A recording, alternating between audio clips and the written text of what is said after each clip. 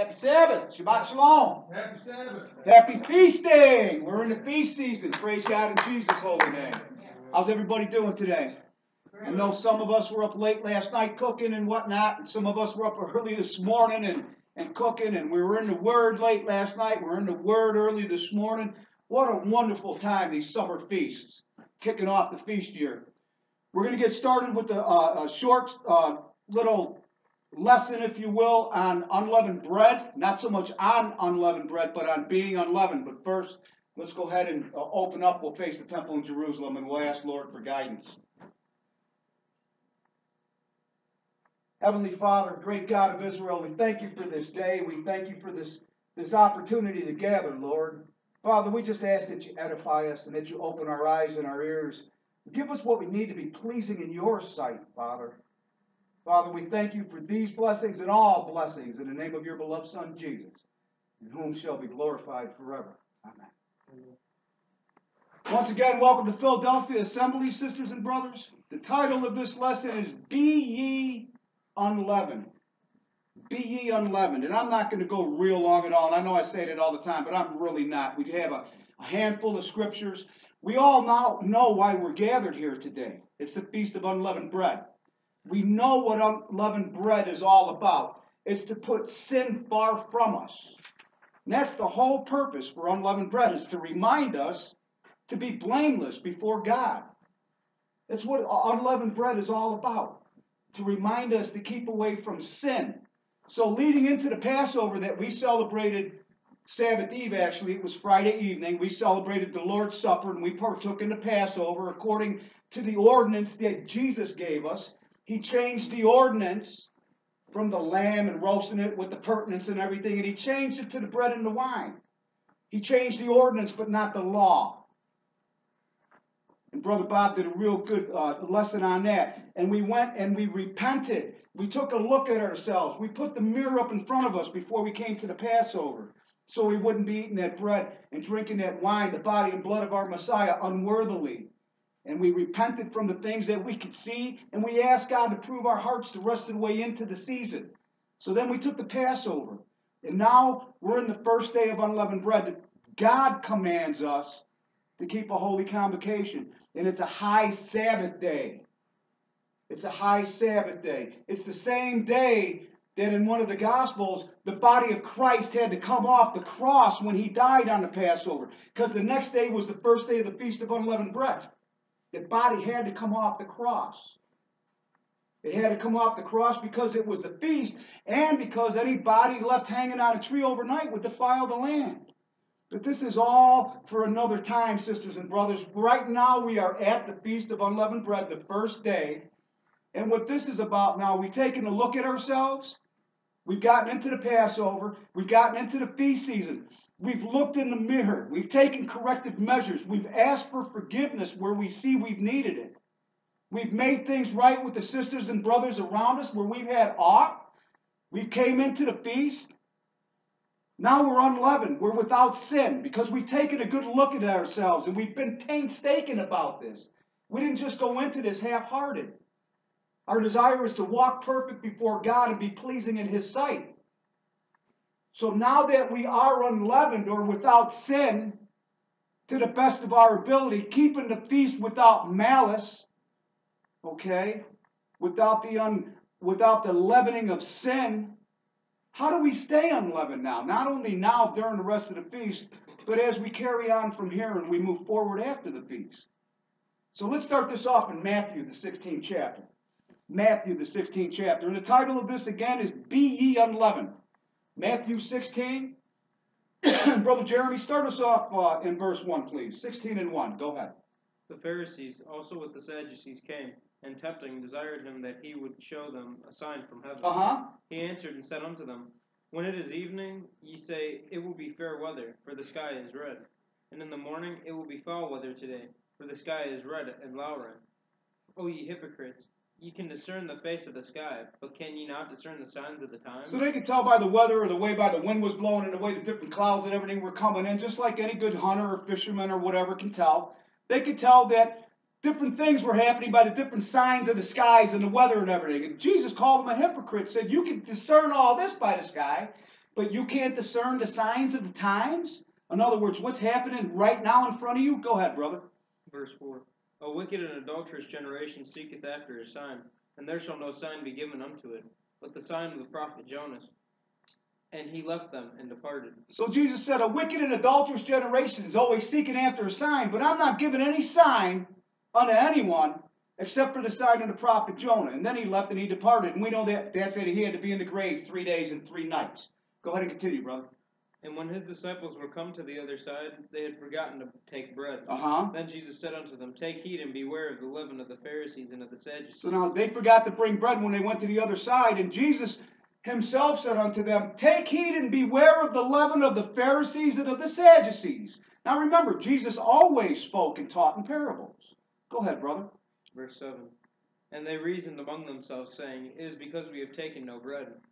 Which when Jesus perceived, he said unto them, O ye of little faith, why reason ye among yourselves, because ye have brought no bread? So now the disciples, they get to the other side and they go, All right, who's got the bread?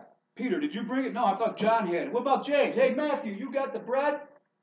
Oh, man, we didn't bring no bread. Jesus is talking about we didn't bring no bread, man. They don't understand what the Messiah is saying. And Jesus says, Oh, ye little faith, why reason ye among yourselves because you have brought no bread?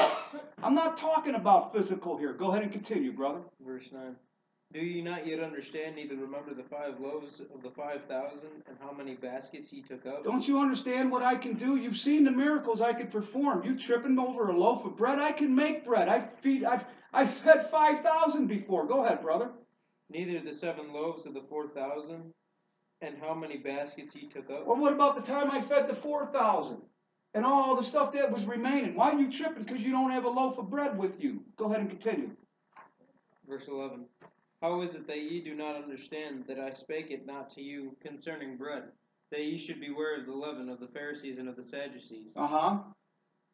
Then understood they how that he bade them not beware of the leaven of bread, but of the doctrine of the Pharisees and of the Sadducees. So Jesus broke it down to them and he said, It's not the, the bread, the physical bread I'm talking about. I'm talking about the doctrine of the Pharisees and the Sadducees. And it's the same thing today, sisters and brothers. You can judge a man by his fruits. There's Pharisees and there's Sadducees out there today, sisters and brothers. And Jesus said that unless our righteousness exceed their righteousness, we don't have a chance at his kingdom. Go to Matthew, the 23rd chapter. And I did, uh, for the sake of people that have some of these uh, uh, handouts, I did make a few changes. This was one of them. I added Matthew 23. And I'll, I'll let you know as we go forward. Matthew 23, and let's pick it up at 23, brother. 23 and 23. Go ahead.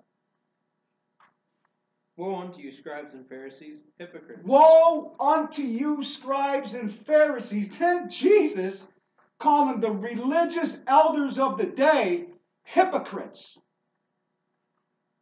The religious elders of the day, he's calling them hypocrites. Why? Go ahead, brother.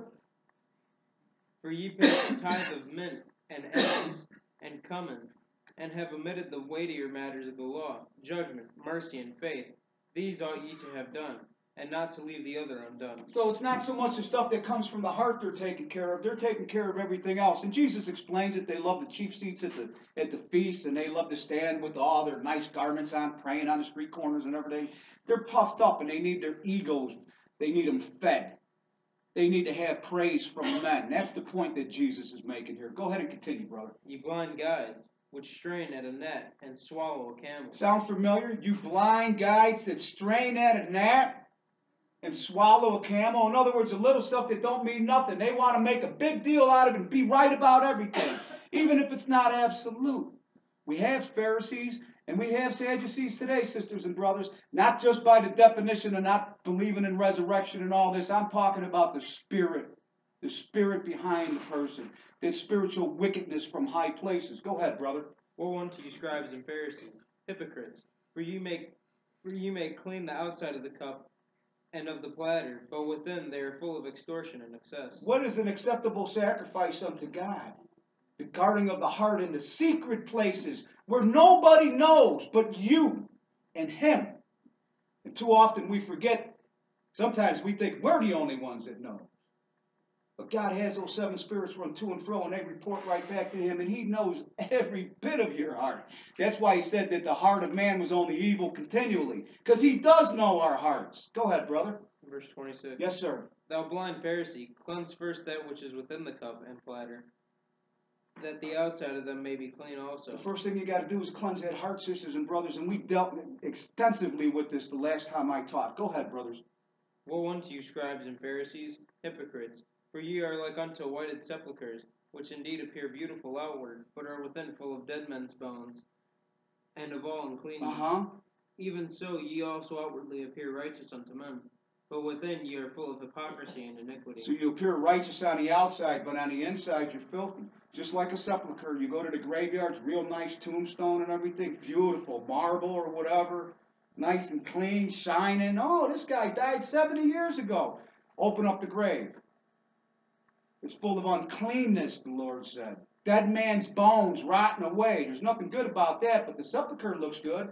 The headstone looks good. Oh, we look great. We're standing there, we're praying. Oh, praise God, brothers and sisters. Oh, praise Jesus. And on the inside, you're hating your brother, you're refusing to forgive. The weightier matters of the law, the things the Lord said to work on, the proving of the heart. Let's continue. Let's go to John, the sixth chapter. John, the sixth chapter. Gospel of John 6. So we have to beware of the leaven of the, of the, of the Pharisees. We have to beware of this leaven, sisters and brothers. We have to constantly guard our hearts. Now we've come into the feast season. We've kept the Passover. We're in the feast. We're getting ready to praise Him and worship Him and glorify Him and give Him His just due. But we got to stay righteous too, sisters and brothers. We can't just go off now that we've cleaned ourselves up for the Passover and just let ourselves backslide.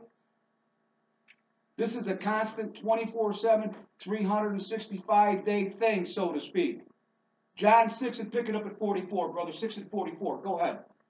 No man can come to me, except the Father which hath sent me draw him, and I will raise him up at the last day. Look what Messiah is saying. No man can come to me except the Father which has sent me draw him. Do you realize, as saints keeping the feast of unleavened bread, the understanding that you have? Do you realize what you are called for? How many people we stand on a street corner busting their heads with this book and they can't even see something as simple as a seven day Sabbath? And look at the understanding we have. We've been called by our Heavenly Father, sisters and brothers, to be righteous. To be righteous in the secret places so our light can shine everywhere. Tell us where you're at and continue, brother. 45. Yes, sir. It is written in the prophets. It is written in the prophets, and they shall be all taught of God. Every man therefore that hath heard and hath learned of the Father cometh unto me. Every man that hath learned of the Father cometh unto Christ, cometh unto Messiah. He's that prophet like unto Moses. It's his words that we are judged by, whether or not we're obedient or whether or not we're disobedient. The words of our Messiah. Let's continue. Skip down to 63, brother, and read it. It is the Spirit that quickeneth, the flesh profiteth nothing. The words that I speak unto you, they are spirit, and they are life. The spirit that quickeneth, the flesh profiteth nothing. The words I speak unto you, they are spirit and they are life. The Bible, God's written word. Obedience to his voice. Skip to 67 and continue, brother. Now he all these disciples, they went away. And he's going to ask the 12, all right, everyone else is tripping. What are you going to do? And look at what Peter tells them. 67, brother, go ahead.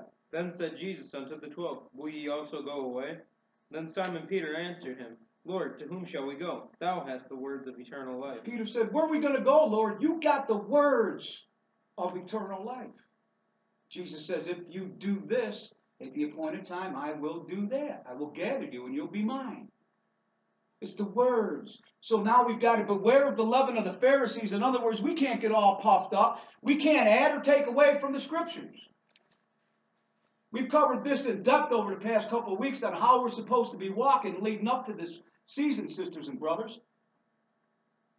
Everything is done according to the Word of God. Let's go to John, the 12th chapter. Go ahead, a few folks. We're going to read one verse here, or a couple verses here. John 12. Everything is done according to the Word of God, regardless of personal consequences, sisters and brothers. That's how you stay right. That's how you stay righteous in God's sight. If it's in the book, you do it. Doesn't matter what kind of uh, consequences come on you. If Jesus, in his book, in this book, in the Bible, if Jesus, the one that the Father gave it to, and I know I'm speaking English, I'm starting to confuse myself because I'm starting to go to the other names and add them in, and I'm not going to do that. If Jesus said do it in this book, that means that the Father said he wants it done that way. That's cut and dry. That's the bottom line. If it's in the book, you forget about your personal consequences. You take your lifestyle and you make it adhere to the Word, not take the Word and make it adhere to your lifestyle. Everything hinges on the Word. Everything. The whole law and the prophets is what our Messiah said. Everything hinges on His Word. Nothing else. No adding, no taking away. And it's because of that we go to the law.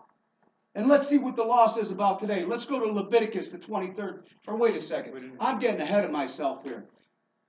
Go back to John 12 and read 42 and 43, brother. 42 and 43. Go ahead. Nevertheless, among the chief rulers also many believed on him. But because of the Pharisees, they did not they did not confess him, lest they should be put out of the synagogue. Why? For they loved the praise of men more than the praise of God. It's all about the word, sisters and brothers, and it's all about what Jesus said. The only ordinance that Jesus ever changed to the law was the ordinance of the Passover. And of course, the change in the priesthood from that fleshly priesthood back to the priesthood after the order of Melchizedek. And the Lamb, he's the Lamb. He's the one that had to suffer and die one time for the sins of the world. No more animal sacrifices. That's the only thing that's changed. Everything stays hinged on his word. And many believed. Many believed on him, but because of the Pharisees, they didn't confess him that they should be put out of the class or the synagogue. For they love the praise of men more than the praise of God. Sisters and brothers, this is a conditional God, and his conditions for your obedience is unconditional to your personal consequences. You get tossed out of the synagogue, so be it. You don't add, you don't take away, and everything's according to his word. Now, that's why we go to the law. Leviticus, the 23rd chapter, brother. Leviticus 23. Leviticus 23. And this is the time that we're in. This is the season we're in now, brother. And we're just going to go ahead and we're going to read it starting at verse 1. Go ahead. 1 through 8.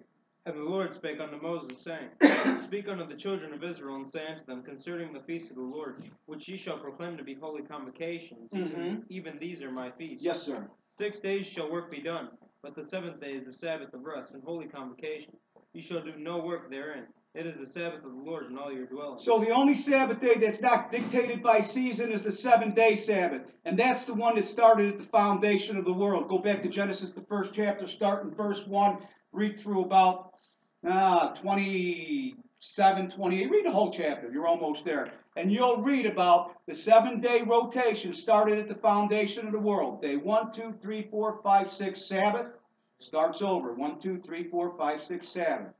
The only thing that we have from paganism today is they threw names on day 1, 2, 3, 4, 5, 6, and 7. But we understand what it is today. Now, we're going to address the feasts that come up in their seasons or the Sabbaths that come up in their seasons. And we're going to deal with the first two. Go ahead, brother. These are the feasts of the Lord, even holy convocations, which ye shall proclaim in their seasons. So the rest of them get proclaimed in their seasons, but the seventh day Sabbath is on the cycle that was created at the beginning of the world. Go ahead, brother. In the fourteenth day of the first month at even is the Lord's Passover. So the 14th day of the first month in the evening at sundown is the Lord's Passover. And that's what we celebrated Friday evening. Go ahead, brother. And the fourteenth, oh, sorry, verse six.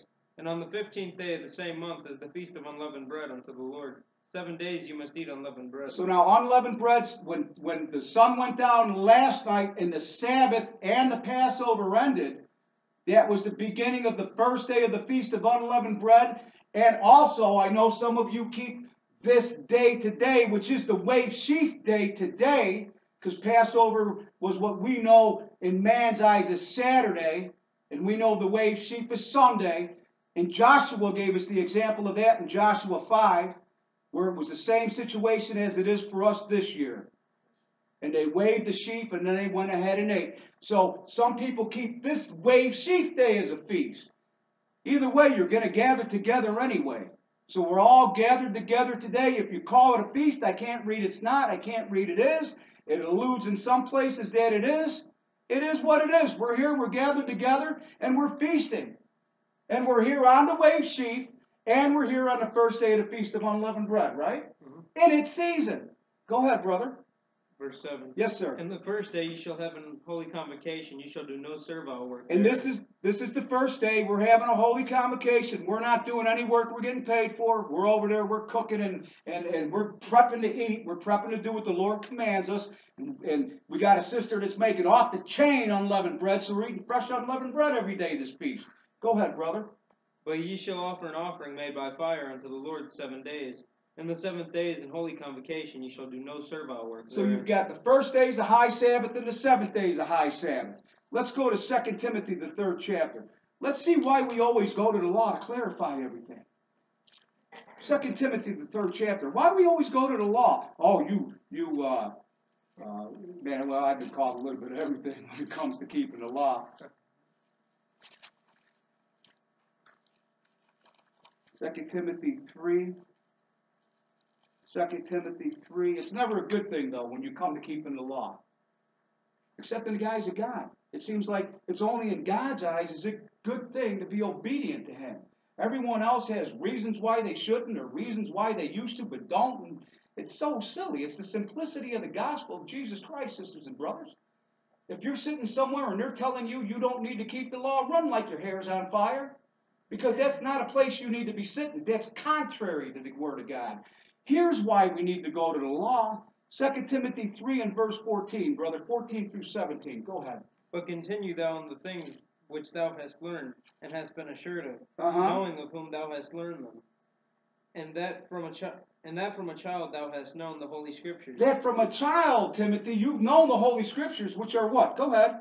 Which are able to make thee wise unto salvation Through what? through faith which is in Christ Jesus. Which are able to make thee wise unto salvation through faith which is in Christ Jesus. The Scriptures are able to make you wise unto salvation because they teach you how to obey His voice. And He said, if you love Him, keep His commandments. And we can go in depth, but that's way for another level. We really don't have enough time this rest of this weekend for that one. Go ahead and continue, brother. All scripture is given by inspiration. All of God. scripture is given by inspiration of God. All scripture. And you know what? The New Testament to us, it's scripture, sisters and brothers. Go ahead. and is profitable for doctrine, Uh-huh. for reproof, for correction, for instruction in righteousness, And these scriptures are profitable for doctrine, reproof, correction, and instruction in righteousness. God's righteousness, not man's. Go ahead. that the man of God may be perfect, thoroughly furnished unto all good works. That the man of God may be perfect, thoroughly furnished unto all good works. All good works. Let's get into the meat of this. How do we stay unleavened? Let's go to Colossians, the third chapter. Colossians, the third chapter. Colossians 3, brother. And I'm going to pick this up a little bit because we want to eat. Mm-hmm. Colossians 3 and verse 14. 3 and 14. Go ahead. And above all these things, put on charity, which is the bond of per- What is love? It's the bond of perfectness. Charity's love. Above all these things, put on love, which is the bond of perfectness. And all the, the only thing God requires is us of us is to walk perfect before Him with a perfect heart. And charity is the bond of perfectness. Go ahead, brother. And let the peace of God rule in your hearts, Uh huh. to to the body or to the which also ye are called in one body, and be ye thankful. Yes, sir. Let the word of Christ dwell in you richly in all wisdom, teaching and admonishing one one another in psalms and hymns and spiritual songs, singing with singing with grace in your hearts to the Lord. And this is the spirit that the Lord wants us to serve Him with. Not just at this feast time, but at all times. This very spirit we're reading about here. Let's go to 1 Corinthians, the 13th chapter. We're going to read one verse. I didn't finish it. go ahead and finish it. Verse 17. and whatsoever ye do in word or deed, do all in the name of the Lord Jesus, giving thanks to God and the Father by him. Amen. Now let's go over to 1 Corinthians 13. Excuse me, sisters and brothers. I still got that tickle from this little bit of a stomach virus or whatever has been going around. First Corinthians 13, one verse, brother, verse 13. Go ahead. And the same. Oh, oh, that was the second thing. No, we'll wait. We go over a half hour, it's his fault. No. First Corinthians 13 and 13. Go ahead, brother. And now abideth faith, hope, charity. These three, but the greatest of these is charity. Now abideth faith, hope, and charity. These three, but the greatest is charity. Read this whole chapter. This is deep. If it's not for love, you do it in vain, sisters and brothers. Let's see why. Let's go to 1 Peter, the fourth chapter. 1 Peter, the fourth chapter. 1 Peter 4. 1 Peter 4. Should have got me a little honey before I came over. 1 Peter 4 and verse 7. 4 and 7. Go ahead. But the end of all things is at hand. Be therefore sober, and watch unto prayer. But the end of all things is at hand. Be ye therefore sober, and watch unto prayer. Watch unto prayer. Praying always with all prayer and supplication for the saints. Walking in the Spirit. Praying in the Spirit. Keeping yourself straight. Go ahead, brother.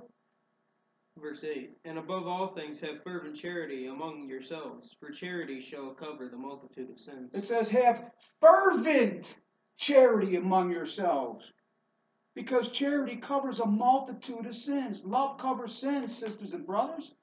God's not just telling us to love each other even when we want to strangle each other because He wants to see how far we can go before we snap. He gave us this because it's good for us. Love covers a multitude of sins. This is the way we're supposed to be walking. Second John, the first chapter. Go to Second John, the first chapter. Nobody ever corrects me. There's only one chapter. Second John, verse 9. Second John, verse 9. Go ahead. Whosoever transgresseth, transgresseth and abideth not in the doctrine of Christ, Now, transgresseth means to break. In other words, what is sin? Transgression of the law, or the breaking of the commandments. Whosoever transgresseth and abideth not in the doctrine of Christ, go ahead, hath not God. have not the Father. You don't have either one. Go ahead and continue, brother. He that abideth in the doctrine of Christ, he hath both the Father and the Son. This is a reason for us to praise Him fervently. Some people will never have both the Father and the Son, not in this flesh. Look at the understanding we've been blessed with. Jesus even told His disciples, don't be praising it up and down and everything because that the spirits are subject unto you, but rather give praise and rejoice because your name's written in heaven. The righteous, it says, will scarcely be saved. Sisters and brothers, we're supposed to be walking not on eggshells, but with all sobriety, looking every corner, everywhere around us, shining that light into the darkness, making sure there's nothing that's going to let us slip. Watching always with all prayer and supplications for all the saints. Watching and praying, keeping ourselves straight, guarding those hearts. Don't let these last couple of weeks lead into this Passover and this feast season. Don't let it be for nothing. Stay guarded. Keep your heart, keep it with His Word. Love fervently amongst each other. That's what being unleavened's all about. It's not about anything else but that. Having one mind in and through our Messiah. Being without sin to the best of our ability. That's what this feast is all about, sisters and brothers. So now we know right where we stand.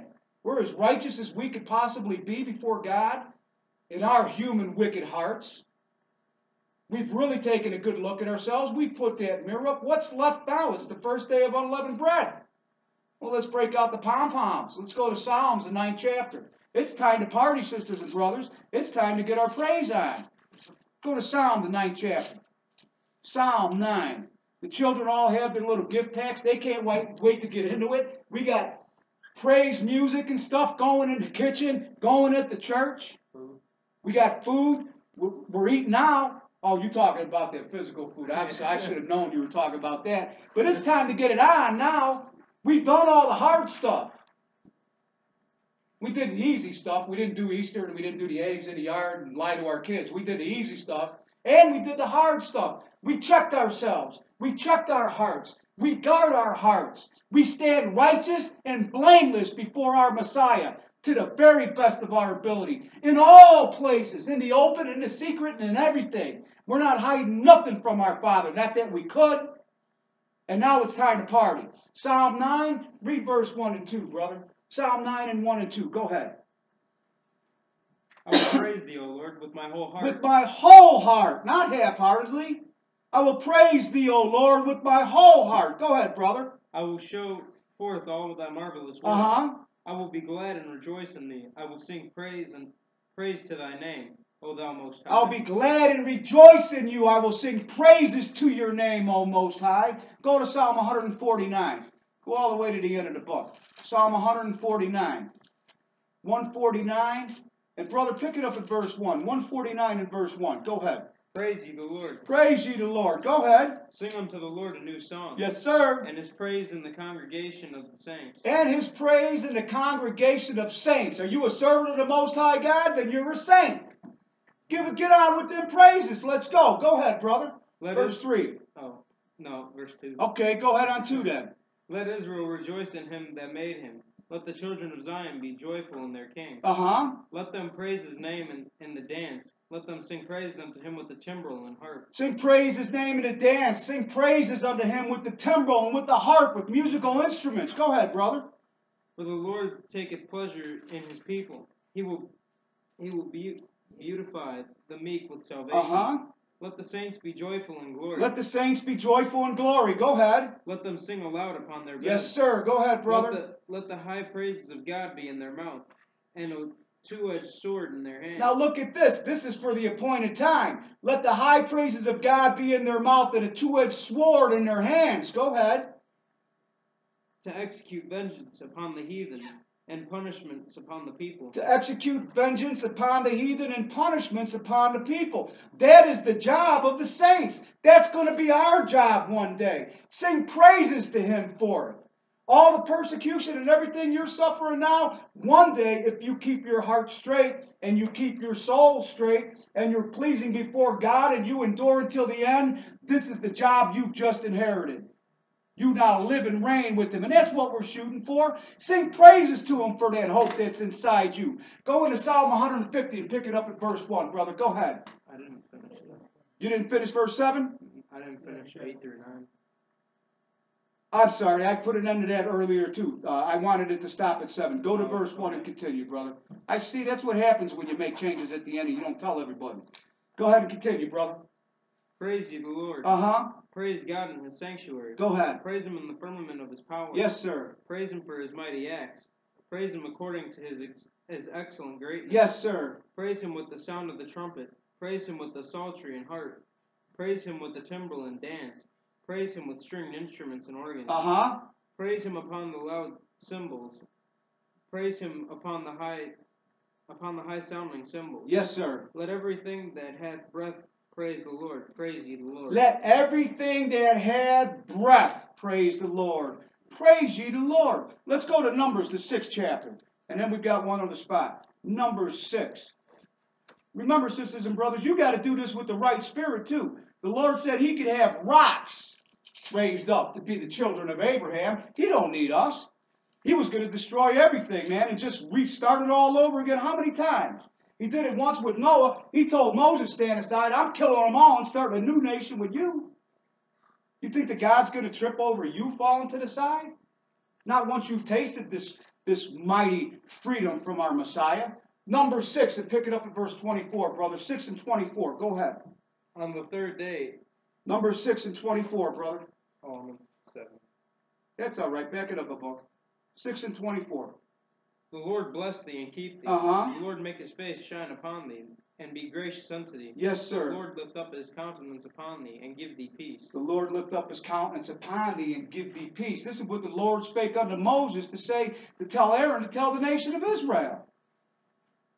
We've taken hold of his covenant. Are we not now the nation of Israel?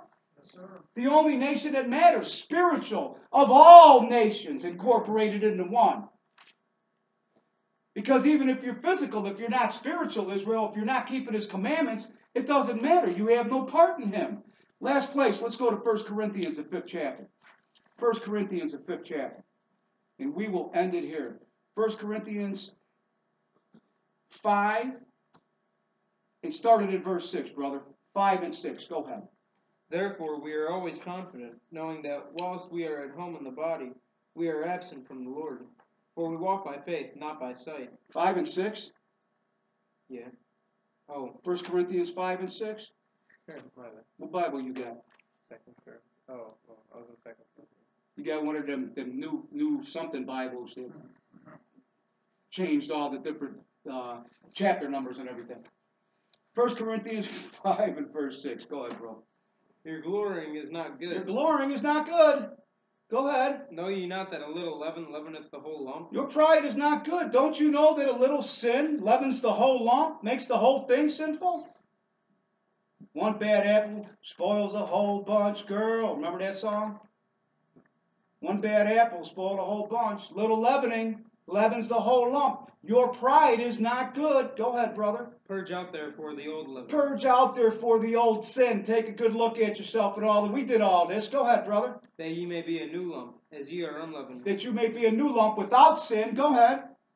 As ye are unleavened. Uh-huh. For even Christ our Passover is sacrificed for For us. even Christ our Passover is sacrificed for us, for the sins of the world. So we've done all this. We've checked ourselves. We're here at the feast, and what are we going to do? Verse 8, brother. Therefore let us keep the feast, not with old leaven, Uh-huh. neither with the leaven of malice and wickedness, but with the unleavened bread of sincerity and truth. And that's exactly what we are going to do now. We are going to keep the feast.